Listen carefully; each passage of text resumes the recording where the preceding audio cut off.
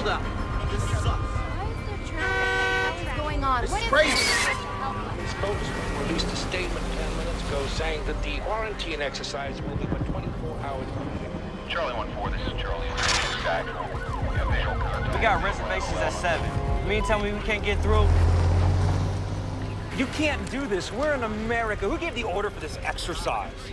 Sir, my orders are to keep this road sealed off for the next 24 hours. You can take your son to the hospital in town. Those guys don't know their ass from a hole in the ground. I want to go to a real hospital. Sir, I understand. Not unless you have kids you don't understand. Honey, you're not helping.